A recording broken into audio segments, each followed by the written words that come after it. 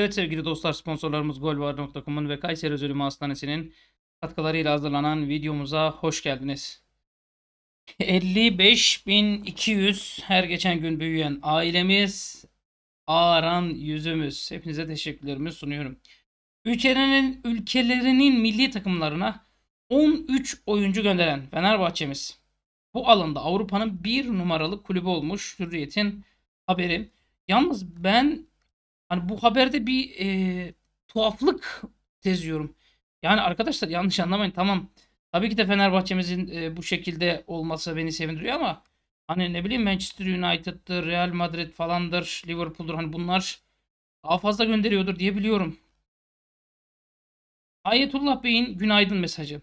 8. hafta ile birlikte aleyhimize gerçekleşen hakem hatalarına rağmen Süper Lig'in %21'ini namalup tamamladık. Arkadaşlar matematik aynı. Bakın %21'i. 38 maç var. Yarısı ne yapar? 19 maç. Anladınız mı? %25'i ne yapar? Yani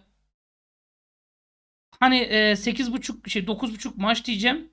Saçma olacak. 40 maç gibi düşünün. 4'te 1 yani %25'i ne yapar? 10 maç yapar. Ben şuna bakarım. Lig bittiği zaman kaç puan alınabilir? Şu. Şu puanı alalım. Yeter. Mesela Galatasaray 5 puan altımızda olsaydı. Mesela 9. maçlar bittiğinde inşallah Fenerbahçe 27 Galatasaray 22 puan diyelim. Yani en yakın rakibimize 5 puan taktık diyelim. 37 hafta üzerinden düşün. Çünkü zaten 3 puan öndesin. Böyle böyle devam etmek lazım ama. Şimdi dediği gibi gelişen hakem hatalarına rağmen %21'ini namalip tamamladık. Maraton uzun. Yolun çok başındayız. Üstelik artık rakipler için ciddi bir motivasyon var. Namalip Fenerbahçe'yi yenmek. Kaybedeceğimiz anlar da gelecek. O anlarda göstereceğimiz reaksiyonla takımı yeniden ayağa biz kaldıracağız. Safları sıklaştırın. Hiçbir şey bitmedi. Asıl zorlu süreç şimdi başlıyor demiş. İsmail Kartal'ı da bu konuda uyarıyorum. Fenerbahçe'nin milli takıma gidişleri değil, milli takımdan dönüşleri sıkıntı olur.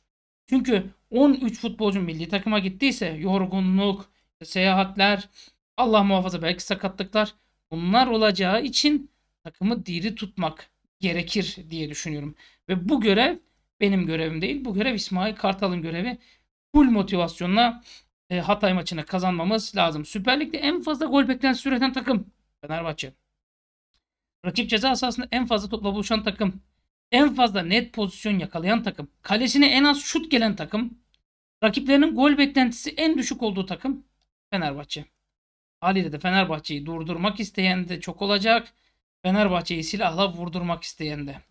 Euro 2028'e Birleşik Krallık ve İrlanda ev sahibi yapacakmış ancak Euro 2032 tıpkı dediğim gibi Türkiye ve İtalya'nın ortaklaşa ev sahipliğinde düzenlenecek. Şimdi maçların oynanacağı 10 stadyumdan 5'i Türkiye, 5'i İtalya'da olacakmış. Milli takımımız ev sahibi olduğu için eleme oynamadan turnuvaya direkt katılacak. En büyük karı bu oldu. Mehmet Büyükekşi diyor ki yaklaşık 6 milyon insanın izlemesini bekliyoruz bu turnuvayı diyor. E, Türkiye'ye de katkısı en az 1 milyar dolar diyor. 1 milyar dolar değilse 100 milyon dolar falandır en fazla. Şimdi Türkiye'nin UEFA'ya sunduğu stadyum listesi skandalı da var. Beşiktaşlılar parmak sallama olayından sonra e, bir skandal olduğunu söylüyorlar. İstanbul Atatürk Olimpiyat Stadyumu, e, Beleştepe Rams Bedava Arena, Fenerbahçe Ülker Stadyumu ki belki o zaman Atatürk Stadyumu olacak. Yeni Ankara 19 Mayıs Stadyumu 45 bin kişilik. Gaziantep Kalyon Stadyumu 33.500. Bursa Büyükşehir 43.361. Trabzon Şenol Güneş Kompleksi. Şenol Güneş Fenerbahçe Kompleksi 40.782. E, Antalya Corendon Airlines Park Stadyumu 32.539. Bak Antalya'yı seçerler ha. Ben diyeyim. Olimpiyatı seçerler. E, Beleştepe'yi seçerler. Fenerbahçe'yi seçerler. 4. Beşinci nere olur? Bursa mı olur? Trabzon mu olur? Konya mı olur? Onu bilemiyorum. Hocam Beşiktaş'ın stadı yok. Ya bu listeler ta Nisan'da verilmiş. Yoksa ben de bir seziyordum açıkçası. Bu arada Gianluigi Buffon ve Volkan Demirel e, iyi niyet elçileri seçilmiş. İkisinin de görseli, görsellerde yer aldılar. Valla Volkan Demirel için şu an tek söyleyeceğim şey bize yenilsin de bizden sonra herkesi yensin inşallah. TFF bu arada Suudi Arabistan 2034 Dünya Kupası ev sahipliği başvurusunu desteklediğini de açıklamış. Bize neyse. Ama tabii bize neyse. Ya şimdi bakın Antalya Spor'da istifa kararı alan Başkan Sabri Güler'in ardından futbol sorumlusu Nuri Şahin de yüksek ihtimalle görevinden ayrılacakmış. Niye Okan Buruk'u kovup mu alacaklar? Pendik Spor Osman Özköylü ile yollarını ayırdığını açıklamış. İki maç yani iki maç sonraki rakibimiz. Pınar Karşıyaka Fenerbahçe Beko'yu 84-79 mağlup etti. Nazarlık olsun diyelim. Buna da onu da söyleyeyim. Şimdi bir camia düşünün. Her alamadığını paraya, aldığını karaktere bağlıyor. Kim o camia? Fred'in maliyeti 15 milyon euroymuş. Galatasaray bu maliyeti verem vermediği için Fred Fenerbahçe'ye gitti diyor. İsmini anmak istemediğim arkadaş. Ben bunun ismini andığım zaman midem bulanıyor arkadaşlar. Kendimi hamile gibi hissediyorum. Ee, kusasım geliyor. O şekilde diyeyim. Erden Timur 9 Temmuz 2023. Şimanski ile ilgilendik. Görüşmemiz oldu. Maaş skalası var. Ne, biçim bir skalaysa. Ee, değerli bir oyuncu ama maaş konusunda belli bir şeyin üzerine çıkamıyoruz. Bizim 8 numaraya şu an daha ağırlık vermemiz gerektiği için şu an daha detay, daha dengeli ilerliyoruz. İyi bir oyuncu ama belli bir maaş düzeni düzeyimiz var. Onun üstüne çıkamayız demiş. Ya dediğim gibi aldığını karaktere bağlıyor, alamadığını paraya bağlıyor. Uğur Karakullukçu diyor ki Fenerbahçe'de bu kadar iyi oyunun başı Fred ve Şimanski'nin oluşturduğu Voltran demiş. Kimisi de bu gerçekleri dile getiriyor. Yani kimisi Fred ve Şimanski'ye başka bir şey atarken kimi de gerçeklerle konuşuyor. Ha şu bir gerçek. Fenerbahçe'yi çok övüyoruz.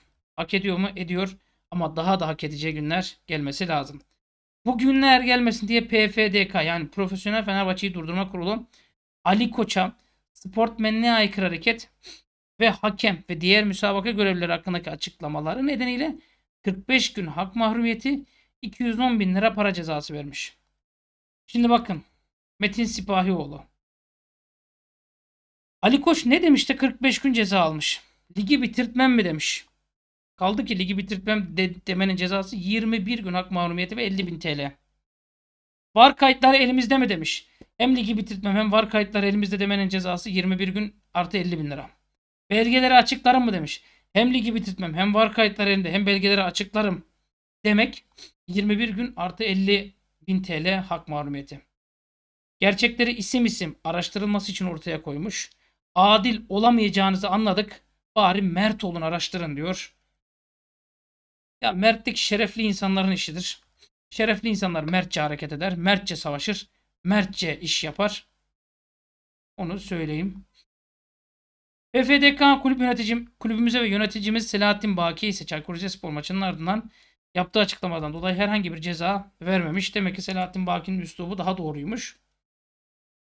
Yani Erden Timur Ligi bitirtmeyiz dedi. Elimde belgeler var dedi. Hepinizi topa tutarım dedi. Savaşta savaş ulan dedi. 21 gün hak mahrumiyeti 50 bin lira aldı.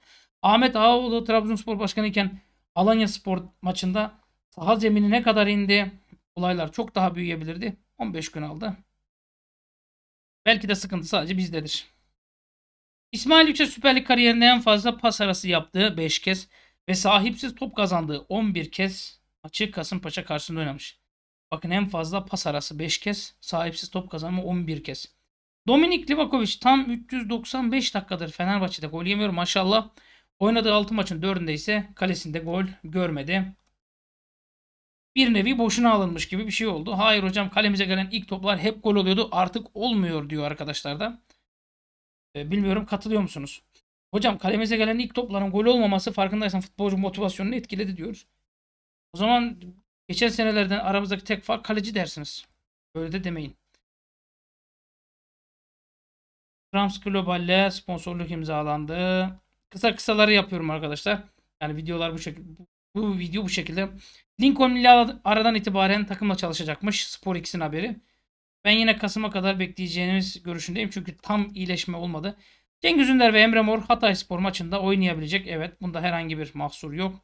Hatta Cengiz ve Emre Mor antrenmanlarda bolca izleyeceğiniz iki isim diyebilirim arkadaşlar. Ee, başka ne diyeyim? Cengiz'i söyledik. Fred'i almaya Galatasaray'ın parası yetmemiş. Geç onu. Tadic olmadan Ajax tamamen hayal kırıklığı demiş.